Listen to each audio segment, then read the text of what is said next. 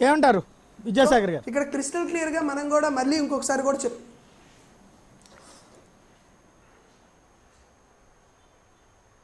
సాయి గారు. చెప్పండి. సాయి గారు. సాయి గారు ఇప్పుడు ఆయన పేపర్ చూపించారు. నేను కూడా చూశాను ఇప్పుడే. అయితే అది మా సారు చెప్పారా లేదని మీకు మొదట్లో చెప్పి ఒకసారి క్రాస్ చెక్ చేసుకొని నేను మాట్లాడతానని చెప్పాను అయితే ఇక్కడ ఆయన కృష్ణా జిల్లా జీవ ఒక ఊరు చెప్పినాడు. నేను నేను నెల్లూరు జిల్లాలో మీరు information తెప్పించుకోండి ten point four one percent ten point four one percent నెల్లూరులో ఇచ్చింది. అంటే నెల్లూరులో లేరా బీసీలు లేరా? అక్కడెక్కడో వే- శ్రీకాకుళంలో ఎస్టీనే లేరు. అసలు అక్కడ ఒక్క ఓటు ఎస్టీ లేరు ఆ గ్రామ పంచాయతీలో. ఎస్టీ రిజర్వ్ అయింది. అక్కడ బీసీలు ఉన్నారు. మరి వాళ్ళదేంటి పరిస్థితి? అట్లాగే విజయనగరం అట్లాగే చిత్తూరు అట్లాగే అనంతపూర్ అట్లాగే కర్నూలు ఇలాంటి తప్పులు జరిగాయి అని మేము మాట్లాడుతున్నాం. ఒక ఊరు మా సార్ ఏదో మాట్లాడారు అని మీరు చూపించే దాన్ని బట్టి మేము మాట్లాడుతున్నాము.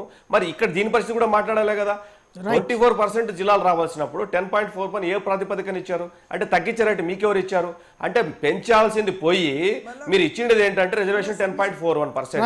అట్లా శ్రీకాకుళం ఏంటి విజయనగరం ఏంటి చిత్తూరుది ఏంటి అనంతపురది ఏంటి కర్నూలుది ఏంటి వీటి గురించి మాట్లాడరా? ఒక్క ఎంపీపీ గురించి మాట్లాడుకొని మా చంద్రబాబు నాయుడు తప్ప మాట తప్ప మాట్లాడమాట మరి దీని గురించి ఏంటి?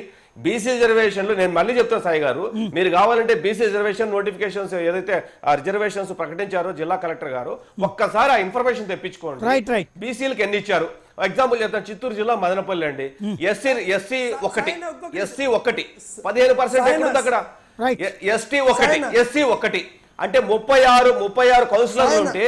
ఎస్సీ ఒకటి ఎస్టీ ఒకటి. అక్కడ అక్కడ అక్కడ అక్కడ గతంలో ఐదు సీట్లు ఎస్సీలు రెండు సీట్లు ఎస్టీలు. ఇప్పుడు ఒక సీట్ ఎస్సీ ఒక సీట్ ఎస్టీ. ఇది ఎక్కడ దౌర్భాగ్యం మేము అడుగుతున్నాం. ఇప్పుడు ఈ రిజర్వేషన్స్ సిస్టమ్ ఎవరైతే ఉన్నా ఫిఫ్టీన్ పర్సెంట్ మినిమం ఫాలో అవ్వాల్సింది అవ్వండి. నేను ఎగ్జాంపుల్ నేను చెప్పింది మీరు. చేస్తాను. చూడండి నేను చెప్పింది. అంటే ఇప్పుడు ఒక ఊరు కాదు కదా మొత్తం జిల్లా మొత్తం జిల్లా మొత్తం రాష్ట్రం మొత్తం. తీసుకోవాలి కదా ఒక జిల్లా. వారీగా జిల్లా తీసుకోవాలి కదా. సాయన్న సాయన్న సాయన్న. ఇంకొకటి హలో సాయన్న. చెప్పండి చెప్పండి. సాయన ఇంకొకటే నా చిన్న చిన్న సబ్మిషన్ అన్న. పాప దొంగ దొరికిన తర్వాత మనం డిబేట్ స్టార్ట్ అయిన ఒక అరగంటలోనే ఒకటి ఆల్రెడీ దొరికిపోయిన తర్వాత మళ్ళీ మా సారు అబద్ధం చెప్పలేదు అది ఇది అంటున్నారు. మళ్ళా ఇంకొకటి అండి జీకొండూరు మండలంలో సంబంధించి ఎంపీటీసీల రిజర్వేషన్ స్థానాలు చూస్తాం ఆగండి కట్టుబడిపాలెం ఆయన అదే కట్టుబడి పాలెం జీకొండూరు వెనుకబడిపోయిన అరే ఆగయా దొంగ దొరికిన తర్వాత ఆగు. ఆగా కాస్త. ఆగు కాస్త ఆగన్న. దొంగ. ఒక కట్టుబడి పాలెం వెనకబడిన తరగతులు శ్రీ. కాదన్న ఒక్క నిమిషం అన్న ఒక్క నిమిషం అన్న ఒక్క పాయింట్. కట్టుబడి పాలెం నెల్లూరు నెల్లూరు తూర్పు సంగతి ఏంటి? బీసీలకు ten point four one percent ఏంటి? సార్. నెల్లూరు నెల్లూరు ఏంటి? సార్ క్లియర్ గా- నె- నెల్లూరులో సార్, 10.41% చంద్రబాబు- వచ్చింది. దాని సంగతి ఏంటి? సంగతి ఏంటి? శ్రీకాకుళంలో సీటు ఎస్టీకి వచ్చింది. దాని సంగతి దాని సంగతి మదనపల్లిలో ఎస్సీలకు ఒకటి ఎస్టీలకు ఒకటి ఇస్తారా? ఏడు రావాల్సిన సీట్లు ఒకటి ఇస్తారా? దాని సంగతి ఏంటి? దాని సంగతి. ఏంటి? ఆల్రెడీ అరే మీరు దొరికారు కదా అఫీషియల్గా మీకు తెలుసా? ఒకటి పట్టుకొని జీ కోంటూరు జీ కోంటూరు పట్టుకొని మాట్లాడడం కాదు. రాష్ట్రం మొత్తం మాట్లాడండి. నెల్లూరులో సంగతి ఏంటి. నెల్లూరులో ten point one four percent ఎందుకు ఇచ్చారు. దాని సంగతి ఏంటి? ఒక్క సంగతి. జీ కోంటూరు జీ కోంటూరు పట్టుకొని మాట్లాడడం కాదు. మిగతా సంగతి. ఏంటి? మిగతా వాళ్ళ పరిస్థితి ఏంటి? అసలు ఎస్టీ. బీసీకి రావాల్సిండే మీకు శ్రీకాకుళం వారు శ్రీకాకుళంలో. శ్రీకాకుళంలో రావాల్సిన దొరికి సీటు ఎట్లా వచ్చి ఎస్టీకి ఎట్లా వచ్చింది. ఒక్క ఒక్క ఒక్క ఓటు కూడా లేదు అక్కడ. ఓటు. కూడా లేదు. ఎస్టీకి ఎట్లా వచ్చింది అక్కడ. చెప్పండి. అది చెప్పండి. ఒక్క. ఓటు కూడా లేదు శ్రీకాకుళంలో. పక్కన దొంగ దొరికిన తర్వాత ఒక్క ఓటు కూడా లేదు. ఒక్క ఓటు కూడా లేదు ఎస్టీది. బీసీకి రావాల్సింది ఎట్లా వచ్చింది. అది చెప్పాలి ఆ సమాధానము ఒక్క. మాట. ఒక్క మాట, ఒక్క మాట, సాగర్? గారు సాగర్ దాని గారు సంగతి ఏంటి? సాగర్ గారు యాదవ్ గారు ఒక్క? నిమిషం కర్నూలులో ఏంటి? ఒక్క నిమిషం ఒక్క నిమిషం దొరికాడు. ఒక్క ఏంటి నిమిషం సంగతి? సాగర్ గారు యాదవ్ గారు ఒక్క నిమిషం ఇక్కడ బేసిక్గా జరుగుతున్నటువంటి గేమ్ ఏంటంటే ప్రాక్టికల్గా రాజ్యసభ సీట్లతో ప్రారంభమైనటువంటి ఇష్యూ ఈ ఊర్లో బీసీలు ఎక్కువ ఉన్నారా ఈ ఊర్లో ఎస్సీలు తక్కువ ఉన్నారా ఈ చర్చ వైపుకి తీసుకెళ్ళిపోతే అసలు చర్చ అవసరం లేదు.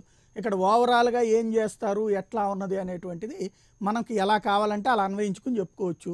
మనకి ఇట్లా రిజర్వేషన్లో తేడాలు వచ్చిందంటే మీరు సుప్రీంకోర్టు దాకా వెళ్ళొచ్చు స్టేలకు అడగచ్చు. ఇంతకుముందు వెళ్ళారు అన్నీ నడిచిపోయినటువంటి జరిగిపోయినాయి.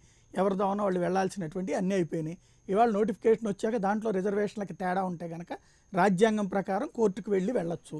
మనం ఇక్కడ డిబేట్లో మనం అనుకున్న పాయింట్ ఏంటంటే ప్రధానంగా బీసీలకు సంబంధించినటువంటి రాజ్యసభ సీట్లది అనౌన్స్ చేశారు. రాజ్యసభ సీట్లో వాళ్ళు ఒక ఇద్దరికి ఇచ్చుకున్నారు. వాళ్ళు అడిగినటువంటిది మీకు ఇక్కడ ఎందుకు ఇవ్వలేదు మీకు తీసుకున్నటువంటి ఆరుగురులో అన్నటువంటిది. అది డైవర్ట్ చేసేటప్పుడు మండలాలు ఏంటి సందుల్లోకి ఏంటి ఇవన్నీ కూడా తీసుకొస్తున్నాం. దానికి సంబంధించినటువంటి ఆన్సర్ ఉందా లేదా?